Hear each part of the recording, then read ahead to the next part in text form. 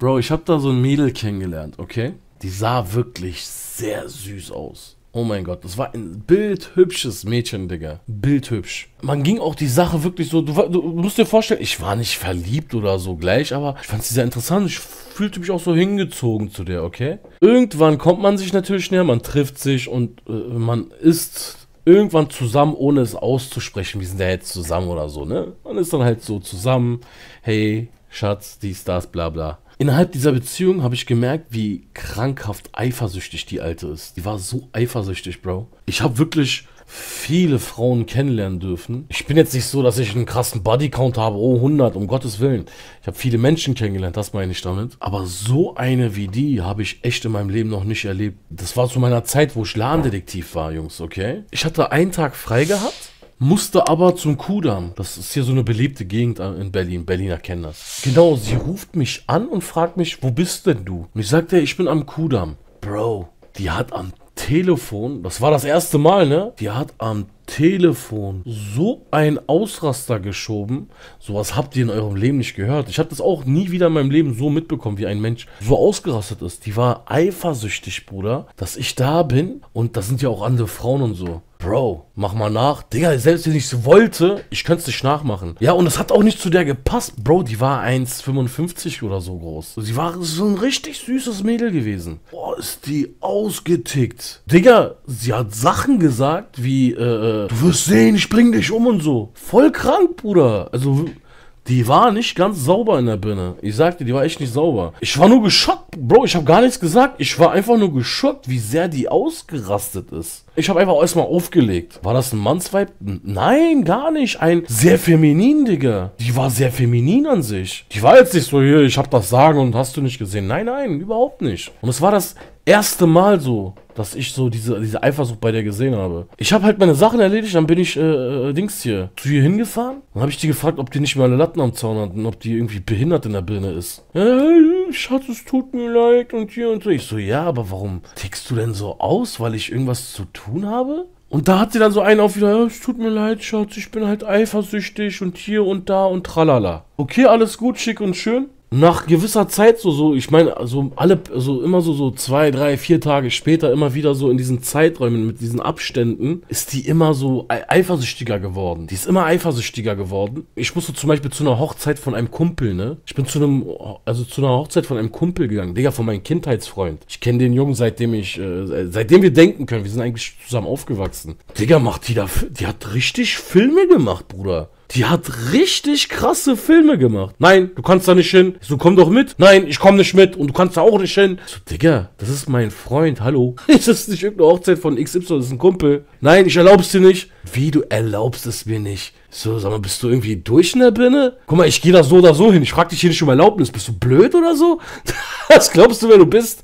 Oder hab aufgelegt? Bruder, oh mein Gott dieses Auflegen hat irgendwas in ihr ausgelöst. Also ich wusste, also ich bin natürlich zur Hochzeit von meinem Kumpel gegangen. Ich bin, hä? Ich wusste aber ganz genau, die nimmt ihre Bude wahrscheinlich gerade auseinander. Die nimmt ihre Bude gerade auseinander. Du musst dir vorstellen, mein Handy, ich habe komplett auf lautlos gestellt, auch nicht so auf Vibration oder sowas, ja? Komplett lautlos. Ist in meiner in meinem Sakko hier drinne so in der in der Innentasche. Alle 10 Minuten gucke ich darauf, 50 entgangene Anrufe und so. beim Tanzen, wir tanzen so, okay, also auf der Hochzeit, wir tanzen so, ich hole mein Handy so raus, ich guck so rauf, 32 entgangen Anrufe, Arme, na, komm rein, weiter.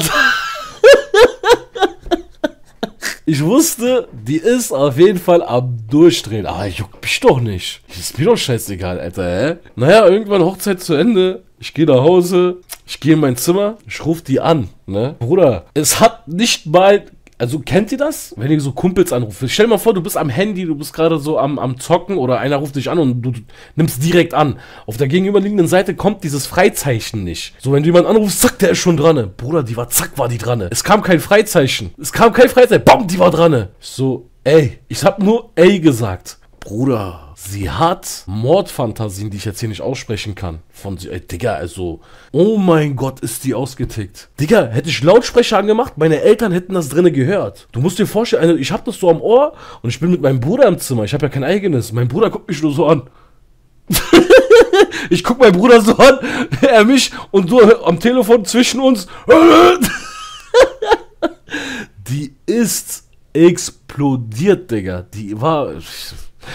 Ich habe aufgelegt, mein Bruder fragt mich so: Brauchst du Hilfe? Geht's dir gut? Ja, dir? Alles gut. Das ist eine kaputte. Und da wusste ich, Digga, nee. Also ich brech das hier ab. Ja, ich brech das hier ab. Ich treffe mich mit der und sag zu ihr, ey, wir müssen reden, komm mal, wir, tre wir treffen uns irgendwo. Ich hätte auch sagen können, ey, ruf mich nie wieder an. Ja, aber ich, was, was soll ich da sagen? Ich, ich kann so etwas, guck mal, ich kann so etwas, ne, ich weiß, die ist anscheinend verliebt, ja, die ist anscheinend verliebt und ich will, wenn du, wenn du schon sagst, du willst, du willst es nicht, dann mach es wirklich vernünftig, ja, nicht so plump mit einer Nachricht. Eigentlich hätte ich dir den Kontakt, also es wäre schlauer von mir gewesen, den Kontakt abzubrechen. Ja, es wäre wirklich schlauer gewesen. Einfach zu sagen, blockier Nachricht, dies, das. Also wirklich. Ich treffe mich mit der und ich sage zu dir, pass auf, war schön, dich kennengelernt zu haben, aber du bist also tut mir leid, nee, mit dir werde ich nicht alt. Will ich nicht. Sorry. Wie war sie in der Kiste?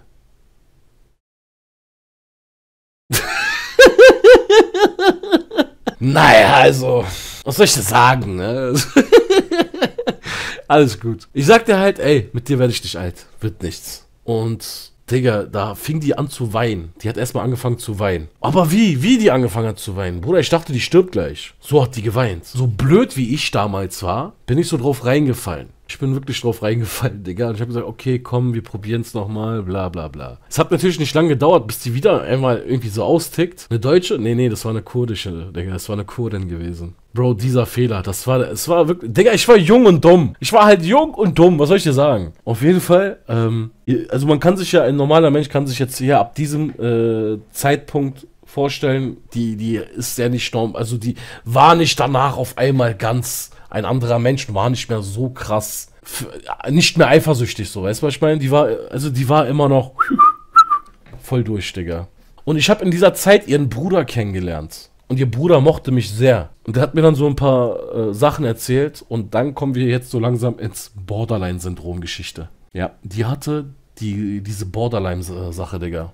Mir war das auch unangenehm gegenüber dem Bruder. Ich habe zu ihm gesagt, pass auf, also ich bin hier mit nicht bösen Absichten aufgetaucht oder so, aber ey, ich bin Mensch und äh, also so gehst du nicht mit, ich scheiß mal drauf, dass ich ein Mann bin. So gehst du nicht mit Menschen um, also weißt du? Also der, der Bruder wirklich ein sehr feiner Mensch gewesen, sehr feiner Mensch. Und der wusste auch, äh, normalerweise, ihr wisst so, in diesen Kulturkreisen gibt es nicht so Zusammensein hier und da oder wenn überhaupt da, wie du bist mit meiner Schwester zusammen. Wir, wir, wir, wir waren schon cool miteinander und er wusste auch, okay, Digga, der ist, der ist kein Dreckiger. Und der hat mir das erzählt. Ich wusste auch nicht, was die so nehmen. Also guck mal, die, wenn wir uns normal getroffen haben, ihr wisst doch, wie Mädels sind, ne? Die äh, Fingernägel und hier Schminken und so. Da hast du ja, sie hat hier gerade geschrieben, nein, Bruder, ist einer von euch. Einer aus dem Chat fickt gerade Kopf. Auf äh, Instagram. Bruder, hört auf, mir diese Filme zu machen. Das könnte sie wirklich sein. ich will gar nicht auf Handy gucken gerade. auf jeden Fall, als er mir ein paar Sachen erzählt hat, habe ich auch zum Beispiel gesehen, Digga, ich hatte das selber, so Fingernägel mal so kauen, ne? Wer seine Fingernägel kaut, der hat eine innere Unruhe. Also, der ist nicht psychisch krank oder so, aber jemand, der seine Fingernägel kaut, der hat auf jeden Fall äh, eine innere Unruhe. Es, es sind so Sachen, es gibt Sachen in seinem Leben, die ihn stören. Der ist nicht ganz zufrieden mit sich. Hatte ich auch sehr lange, also eine eklige Angewohnheit, aber ist so. Die hat nicht ihre Fingernägel gekaut, die hat die gegessen, Bruder. Die waren weg. Die waren einfach weg, Bruder. Ihr Bruder hat einmal so, so einen ehrenlosen Witz gemacht. Ich hab nach, äh, Dings hier, wir haben uns getroffen zum Burgeressen. Ne, ihr Bruder, ich, sie. Ich bring die Burger, sie kaut an ihren Fingernägeln. Er sagt so, isst doch mal die Burger, nicht deine Hände. So, weißt du? Ich so, Digga. Bruder, richtig ehrenloser Witz auf jeden Fall. Also, er hat es nicht so als Witz gemeint, er war sauer so. Okay, er hat diesen ekligen Spruch halt so gebreit, äh, ge gebracht. Naja, irgendwann, Digga, ich hab zu ihrem Bruder gesagt, ich so, Bro, du weißt, ich liebe dich, okay? Aber nee, weil, Jungs, ich könnte euch 50 Geschichten erzählen, wie die immer wieder ausgetickt ist. Und irgendwann habe ich zu, dann zu ihrem Bruder gesagt, Digga, ich zieh das jetzt durch. Mir leid, Digga. Also, der, der ich habe ein Leben. Bro, ihr müsst euch vorstellen, ich bin zum Sport gegangen. Ja, ich habe ich hab so ein Kompressor-Shirt angehabt und die sind eng.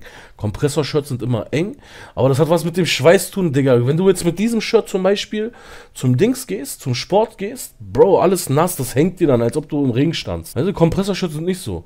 Ich war beim Sport, hab gepumpt. Natürlich, wenn du pumpst, dann ist alles natürlich ein bisschen aufgepumpt, so, ne? Und wir treffen uns nach dem Sport mit ihr. Sie sagt zu mir, bist du so hierher gekommen? So wie? Hast du dich nicht umgezogen? So, was meinst du? Nein, ich hab Sport gemacht.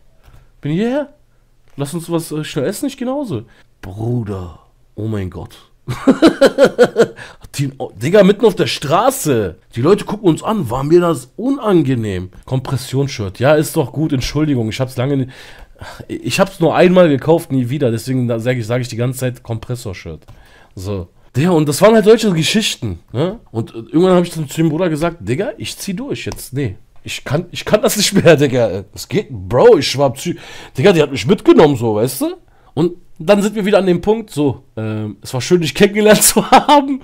Und sie fing dann wieder an zu weinen. Und ich habe diesmal gesagt, nein, ich bleib stark. So, ich so, tut mir leid, aber das funktioniert nicht, das ist zu toxisch. Du hättest sie einfach ordentlich bestrafen müssen. Glaub mir, war nicht möglich, ich habe alles probiert. ich bin hart geblieben, okay? Ich bin hart, also hart, hart meine ich, ich bin hart geblieben. Also, dass sie weint und ich, ich mache keinen Rückzieher. Und dann fing sie an mit, ich werde mich umbringen. Sie hat selbst, also sie hat Suizidabsichten mir gegenüber geäußert. Digga, und wie, zu dem Zeitpunkt, wir sind, also, wir sind alleine. Das musst du mal reinziehen, ne? Sie, sie guckt mich an und sagt zu mir, ich werde mich umbringen. So, guck mal, das ist nicht gesund, okay? Was du da gerade von dir gibst, ist nicht gesund. Okay, lass das, hör auf damit. Und ich wusste schon zu diesem, Digga, ich war so abge... Also ich... Beim ersten Mal, ich habe ja nachgegeben. Ihr wusst, also ihr könnt euch schon vorstellen, was für ein Mensch ich damals war. So, oh, okay, so, hätt, du konntest mich relativ schnell einlullen. Und meinst du mir, ich will mich umbringen. Und irgendwann war mir das einfach auch egal. Ich so, ey, lass mich in Ruhe, okay? Lass mich einfach in Ruhe. Und ich wusste ja, dass die halt okay ist. Lass mich einfach in Ruhe. Und dann, äh, als sie gemerkt hat, dass mit diesem ähm, Ich werde mich umbringen nicht gezogen hat, weißt du, also jetzt, jetzt ratet mal, was danach gekommen ist. Schwanger, schwanger, schwanger. Müsst ihr überspringen. Müsst ihr überspringen. Also ihr habt schon übersprungen. Das kommt später. Nachdem ich bring, ich bring mich um und ich äh, nimm das nicht ernst, kam dann, ich bring dich um. Ich so, was? ich werde dich umbringen. Sie hat gesagt, ich werde dich umbringen. Ohne Witz. So, so, Digga. Und ich habe zu der gesagt, ohne Witz, da waren wir am Telefon, ne? Ich habe angefangen zu lachen und die ist ausgerastet, weil ich sie halt nicht ernst nehme. Die ist komplett ausgerastet. Hat sie sich mit Messer bedroht? Nein, nein, sie hat das so geäußert. Karl Bornhöfer. Wir haben jetzt so eine Psychoklinik hier. Auf jeden Fall, ich lache, Digga, ja, weil sie sagt, ich werde dich umbringen, ja. Weil erstmal, ich bring mich um, nein, ich bring dich jetzt um, Digga. Und ich lach so und sie rastet aus. Aber wie? Bruder, sie kreischt. Sie kreischt. Ich sag zu ihr, nenn jetzt irgendeinen Namen, der mir einfällt. Ey, Zeynep, du bist krank. Ich, ich sag zu ihr wirklich direkt, ich schwöre, du bist krank. Sei leise! Sag sowas nicht! Ich so, Bruder.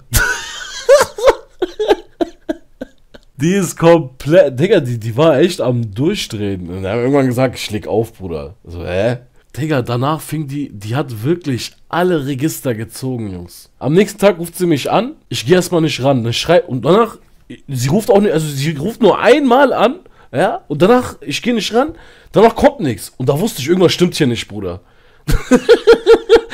Irgendwas stimmt hier nicht. Normalerweise anrufen, ich gehe nicht ran, anrufen, ich gehe nicht ran, anrufen, so weißt du. Danach, das Telefon bimmelt nicht mehr. Ich denke so, hä? Sie schreibt mir, sie sagt, es ist wichtig, ich will dir nur was sagen. Okay, ich rufe sie zurück. So, was willst du? Ich bin schwanger. Sek den Amanakoim, Digga! Sek den Amanakoim hier! Geh mal ecken. Direkt blockiert.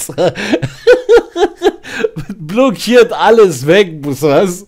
Kommt die damit an, Digga? Ich bin schwanger. Sick den Almanak. Ich habe ihr das genau so gesagt. Sick den Land. Direkt. Digga, die hat gemerkt, das beeindruckt mich auch nicht. Sie nimmt das Handy von ihrer Freundin. Sagt, ich bin's, ja. Ich werde jedem erzählen, dass du mich vergewaltigt hast. So, Bruder, jetzt wird's ernst. Also, wenn die damit jetzt ankommt, das wird jetzt ernst. Du musst dir vorstellen, sie nimmt das Handy von ihrer Freundin und schreibt mir, ich werde jedem erzählen, dass du mich vergewaltigt hast. Und da habe ich gesagt, Bruder, jetzt wird's langsam ernst. Ich habe ihren Bruder angerufen. Ich so, Digga, pass auf. Äh, du weißt, ich war mit deiner Schwester zusammen. Es ist mir sehr, sehr unangenehm, dass ich dir das überhaupt so sagen muss. Das ist, das ist maximal beschämend, aber es ist nicht meine Schuld. Aber deine Schwester hat mir gerade so und so etwas geschrieben, damit du Bescheid weißt. Und ich sag dir jetzt schon mal, es stimmt nicht. Wenn du irgendetwas machen willst, mach. Kein Thema. Aber kommt mir nicht mit, also sie sollen mir nicht mit so einer Scheiße ankommen. Ich so, guck mal, ich habe dich nicht ein einziges Mal angerufen und dir irgendwie gesagt, äh, ey, hilf mir mal oder sonst was so. Aber das hier, guck mal, alles, was sie gesagt und gemacht hat, habe ich nicht ernst genommen, okay? Aber das hier ist langsam, also das hier ist dreckig. Er meinte, ja, aber ich weiß auch nicht, was ich machen soll. Guck mal, wenn du mir so kommst, dann weiß ich, okay, dann habe ich meinen Seelenfrieden mit dir. Er wusste ja, wie seine Schwester drauf ist. Da habe ich meinen Seelen, mir geht es nur darum, auf sie scheiße ich, habe ich gesagt. Auf sie scheiße ich. Guck mal, du bist wirklich ein super feiner Mensch. Egal, wann du was in deinem Leben brauchst, du kannst mich jederzeit anrufen. Aber das hier geht zu weit, Bruder. Ich so, der, der was ist das denn? Er meinte, ja, tut mir leid. Ich so, Bro, ich will dich gar nicht weiter mit diesem Thema äh, beschäftigen. Beschäftige du dich auch nicht damit. Ich wollte nur meinen Seelenfrieden mit dir. Wenn ich weiß, du weißt, dass das scheiße ist, ist alles in Ordnung hab das mit der dann so geklärt. Bruder, die hat wirklich ihre Freundinnen auf mich gehetzt. Wie konntest du ihr das antun? Du Schwein.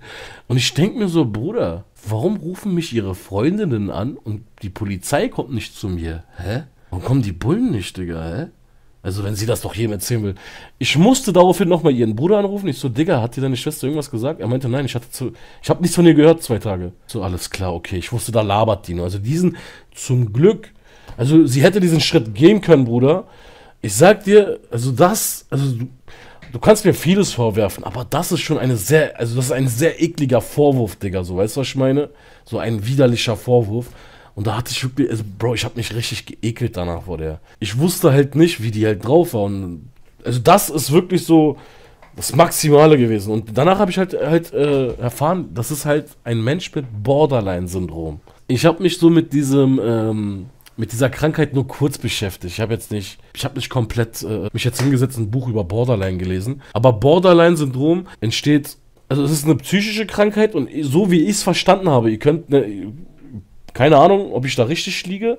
Es ist halt eine Persönlichkeitsstörung und die wird halt meistens, also das ist, also du bekommst dieses Ding nicht, du bekommst dieses Syndrom nicht äh, durch, durch, ähm, durch deine Geburt oder so, sondern es müssen Sachen in deinem Leben passieren, die dich über eine gewisse, über einen gewissen Zeitraum ja beschäftigen. Also nur als Beispiel, gerade bei südländischen äh, Mädels, früher, mittlerweile ist, heute gibt jeder jedem am Heute gibt es Rudelbums. Aber früher war es so, bei, gerade bei südländischen Mädels, ähm, wenn du keine Jungfrau mehr warst, warst du automatisch direkt eine Schlampe. Ich sehe das, ich habe das noch nie so gesehen, ja. Äh, für mich ist eine, also wie soll ich sagen, für mich ist eine Schlampe, es gibt auch männliche Schlampen, ja, wenn du durchgehend äh, äh durchweg deine, deine Geschlechtspartner wechselst, so. Also das ist wirklich, mit, also Ihr wisst, was ich meine. Aber früher war das so, sobald du keine Jungfrau mehr warst, warst du halt eine Schlampe und du warst zu nichts mehr gebrauchen und deine Ehre war weg und hast du nicht gesehen. Gerade bei südländischen Mädchen hat sich Borderline-Syndrom so entwickelt. Du musst dir vorstellen, irgendeiner hat hier die Liebe vorgespielt. Irgendeiner hat hier die Liebe vorgespielt. Dieses Mädchen hat sich verliebt und es ist dann halt irgendwann zum Sex gekommen, musst du dir vorstellen. Dann hatten die halt Sex. So, und dieses, dieser Typ der hat sie halt nur veräppelt. Oder vielleicht ist es auch irgendwie anders zu der Trennung gekommen. Die haben sich getrennt. Und die muss jetzt irgendwie erklären, dass sie nicht mehr Jungfrau ist. Das macht sie aber nicht. Das ist nicht so einfach gewesen für ein Mädchen. Oder ist es heute immer noch nicht so einfach. Ja, äh, dass du nach Hause gehst und sagst, ja, ich bin keine Jungfrau mehr. So, die haben sich dann eine Lüge aufgebaut. Es gab auch viele Mädchen, die sich halt ihr Jungfernhäutchen dann wieder auch ähm, äh, wieder zu, zunähen, zunähen lassen haben. Ja, aber sie haben sich halt eine Lüge aufgebaut. Nein, ich hatte nie Sex. Nein, ich bin noch Jungfrau. Du musst dir vorstellen, sie wollte einfach, dass jeder in seinem Kopf drinne hat, ja, ich bin Jungfrau, ich bin Jungfrau. Diese Mädels haben sich dann halt einfach eine, eine Lügenwelt aufgebaut. Und an diese Lüge, also die haben diese Lüge für sich selbst einfach zur Wahrheit erklärt. So, die haben, obwohl sie keine mehr ist, ja, und das war ja für die ganz dramatisch, ganz schlimm, hat sie trotzdem gesagt, ich bin eine. Okay, ich bin immer noch eine. Und dein Gehirn, ja, dein Gehirn, also dein Gehirn ist nun mal da als für logisches Denken. Dein Gehirn weiß, okay, das stimmt nicht. Ich wurde gebärbert. Aber sie sagt nein. Also du kommst in Konflikt mit deinem Gehirn und da kommt dann der Zeitpunkt, wo sich langsam Borderline so ein bisschen entwickelt. Gerade bei Also in solchen Vorfällen. Es kann aber noch ganz andere, wirklich, es können noch ganz andere Situationen entstehen, warum ein Mensch Borderline bekommt.